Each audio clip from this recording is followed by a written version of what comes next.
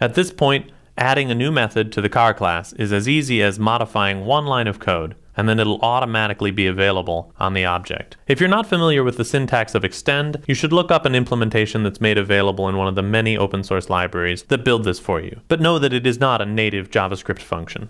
So to keep our example simple, we're going to go back to the old version of the code that only had one method to add to every car.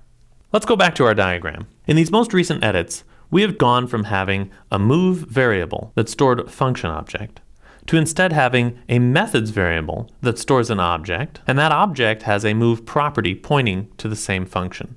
You could say that this is better because the methods object is now capable of storing as many different methods as you want to have available on every car instance. One problem I'm noticing with this code is that the name methods doesn't seem to make it very clear that the methods object is affiliated in some way with the car class. We could easily confuse it as being perhaps a method container for some other class. Furthermore, in the current code it's a global variable, which is something we should avoid. It'd be nice if the methods object was clearly encapsulated somehow along with the car class function, such that the two of them were bundled up together nice and neat. But it's just as easy to store an object like this methods object as a property of another object as it is to store it in a global variable. So let's use the object features of the car function to make room for the object that stores these methods.